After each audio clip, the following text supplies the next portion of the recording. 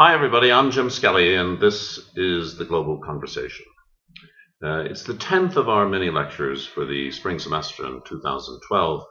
Um, uh, there's a number of things I want to talk to you about, not least of which is the quite extraordinary quality of the Learning Circle presentations. I think you all deserve a great deal of credit, those of you who were actively engaged in um, producing these projects. Um, I recently today uh, made sure that all of those that I've received have been posted. We have 11 of them up on the website now at the top of the homepage.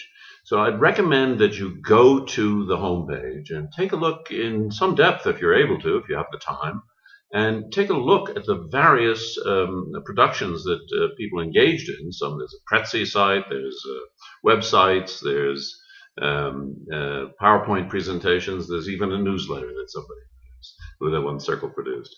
Um, I do think that it's it. You, you, know, those of us who've been managing the course, if you will, are sometimes frustrated, as are many of the students, as I know, uh, with the fact that some people don't seem to be participating, etc., etc. Um, we go through this every semester. It's difficult to get people to work together on a common project across all sorts of time zones and national boundaries, national and international boundaries.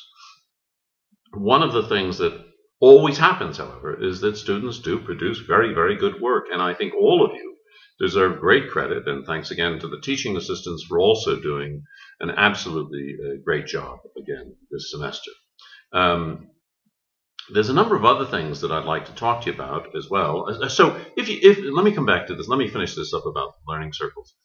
One of the things I'd like to recommend that you do with regard to the learning circle presentations is to go to the um, the pages for the actual forum on a particular learning circle uh, and make some comments to those who participated in the project um, I think it's a, a, very worthwhile idea. Some of them you'll find are very, very compelling, and um, we can try to make them available to you as a resource for work that you might want to do in the future as well. Um, another thing I want to talk to you about today, and let me just find this. Um, you know, I know a number of you are very, very concerned about um, uh, food some people quite obsessed with it, actually, but uh, there may be a good reason for this. A um, number of students at the University of Ulster uh, watched, um, and, and, many of you elsewhere have undoubtedly done the same, have watched the production of the film um, Food Inc., which um, is not good to watch just before you go out to eat, actually, because it'll say to yourself, where does my food come from? Um, and today in the newspapers, there is the announcement of a seven KFC. It used to be Kentucky Fried Chicken. Now they just call it KFC, right?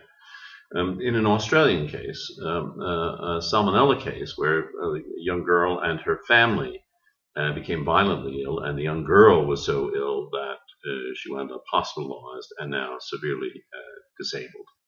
Um, and um, uh, KFC was ordered to pay um, over $8 million in settlement, uh, which will go, among other things, to the care of this uh, now young girl uh, over the next uh, some years.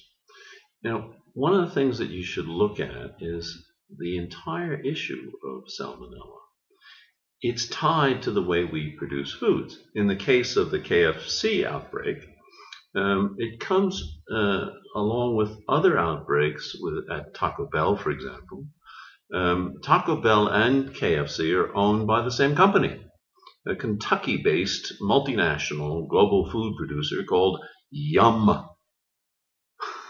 Yum Brands. Yum Brands uh, produces, uh, they own KFC, Taco Bell, and um, uh, Pizza Hut. So um, you want to ask yourself, where does this stuff come from and under what conditions was it produced? Okay. And if you take a look at uh, how many cases do you think there are of salmonella every year in the United States alone?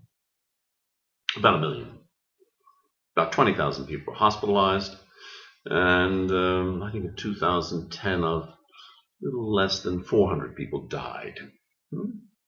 uh, and I can send you some information on various websites that are, that are watching this and other um, uh, diseases, uh, including deaths, that are a consequence of food contamination, especially E. coli. I'll send you some uh, information about all that. Let's see. See for yourself what's going on, and then ask yourself, what should you be eating? Okay.